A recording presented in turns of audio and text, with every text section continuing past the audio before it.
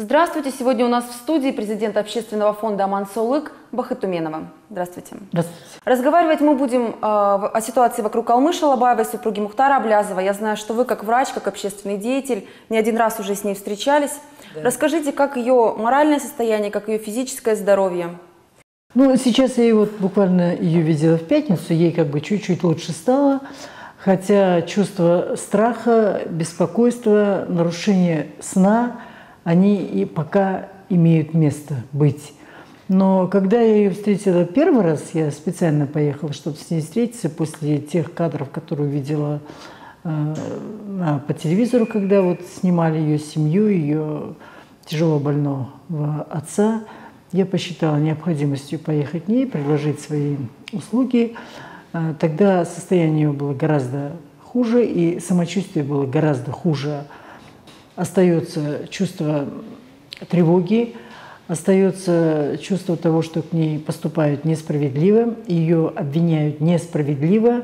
Насколько я знаю, ее 5-6 лет вообще не было в стране. Как она могла это сделать, как она могла вообще, если не было въезда в страну, как она могла встречаться с этими людьми, которых сегодня осудили в Атрау. Мне кажется, это вообще сфабриковано все. И эти люди, которые сегодня в Атрау осуждены – они э, просто их подставили, грубо говоря. Мы можем сказать, что Алмана хотя бы взрослая женщина, а как вот себя чувствует шестилетний ребенок, который пережил такой стресс? Вы знаете, я вот э, в пятницу с ней очень долго разговаривала. Я там была не одна, мы там тоже были с группой вот людей, которые вот э, ее хорошо знают, они захотели тоже с ней встретиться. И она в течение полутора часа вот э, последовательно нам рассказала все то, что было с ней. И там была вот такая ситуация, Дело в том, что рядом с ней, там, э, в этой стране, в Италии, была ее родная сестра с мужем и тоже с ребенком девятилетним. Эти маленькие девочки, одной которой шесть, ее племяннице девять, разговаривали через стенку в здании аэропорта, куда их там поместили перед тем, как вывести из страны. И они перешептывались и говорили, ты что делаешь, ты где? Спрашивала племянница, дочку Алмы. Что вы там делаете с мамой? Что вы? Она говорит, мы в тюрьме. Шепчет ей той. А мама говорит, рядом. Вы представляете, для шестилетнего ребенка вот это ощущение, наверное, ужаса и потери мамы, которую ночью вывезли, она утром просыпается, мамы нет, нет сутки, нет двое, потом ее какие-то незнакомые люди везут с машины на машину, переставляют, ночь, как вот она описывает, кто это такие были, а потом она по-своему, ведь мама-то ей не говорила, что они в тюрьме, они не. Она для себя, маленький ребенок, сделала выводы, что они сидят в тюрьме. Вот как раз-таки она постоянно ходит на, добро, на допросы, она постоянно узнает какую-то информацию из прессы, учитывая, что наша пресса, она не совсем лояльно относится к этой теме, особенно государственные СМИ. Какие у нее ощущения на что-то она надеется, есть какие-то ожидания, или все-таки вот все так бесперспективно в ее мыслях? Вы знаете, у нее страх. У нее страх, потому что она чувствует эту несправедливость, и ее ожидания, ну, как бы ничего хорошего она от нашего, так скажем, суда ожидаемого она не ждет.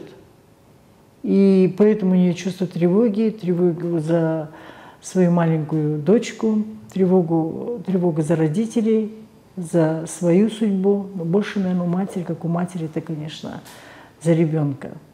Оно имеет место, это очень тяжело. Это просто, так скажем, это психологическая пытка. Это один из видов вот такого вот психологического давления и расценивается как пытка по международным стандартам то, что сегодня с ней происходит. Когда подобная ситуация случилась в семье президента, когда у него были проблемы тоже с детьми, он сказал, что дети и семья – это святое, что их нельзя трогать. Наверное, это касалось, я теперь поняла, только его семьи. Понимаете? То есть он не имел в виду всех тех людей, которые живут в той стране, в которой он является президентом. Видимо, он имел ведут только свою семью и своих родственников. Хотя, когда это случилось в семье его с этим зятем, Я не была в числе тех, которые, предположим, я обвинял ту же самую его дочь или его. Я вот лично сама по-человечески, ну даже, так скажем, пожалела, если можно сказать, потому что не дай-то Бог оказаться все это как бы на миру. Но сегодня, когда я в отношении, когда вот это случилось с Алмой, я была за границей на большом мировом форуме по паллиативной помощи. Мы с Марианой Гуриной написали письмо, где обратились к президенту. Если после этого вот это прекратилось бы, то, что произошло с Алмой, вот эта депортация, позорящая нашу страну в первую очередь и так далее, тогда бы я еще надеялась, что президент, не знаю, он наложит на это вето и прекратит это безобразие. Поэтому я обратилась к нему в надежде, что он не в курсе этого. Но если сегодня это продолжается, то сегодня, возвращаясь к тому вопросу, который вы поставили, видимо, он имел в виду, что не подлежат суду и гонению его семья.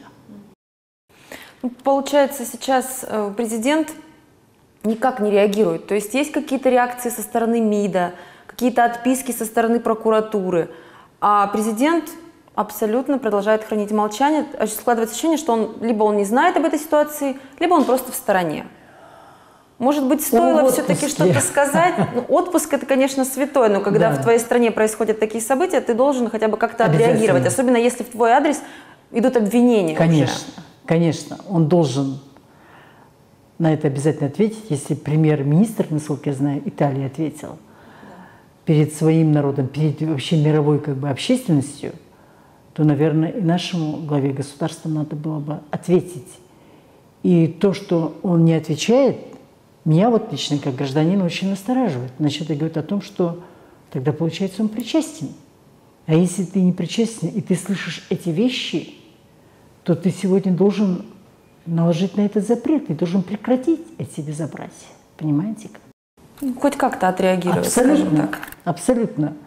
И вот это дело Алмы, ее вот этого беззащитного ребенка, посадив ее в тюрьму, мы тем самым теперь возродим лагеря, для жен, там политических, там, скажем, противников, детский дом поместив для детей изменников Родины, процесс пошел. Он набирает обороты. Понимаете как? Вот ведь что страшно. И сегодня поэтому то, что я пришла в студию, то, что я сегодня об этом говорю, то, что я написала письмо Надежде, это мой гражданский долг – это, это мои, так скажем, пять копеек, которые я кладу в эту и говорю, нельзя так делать. Большое спасибо, что вы к нам пришли. До свидания. Всего доброго. Будьте здоровы.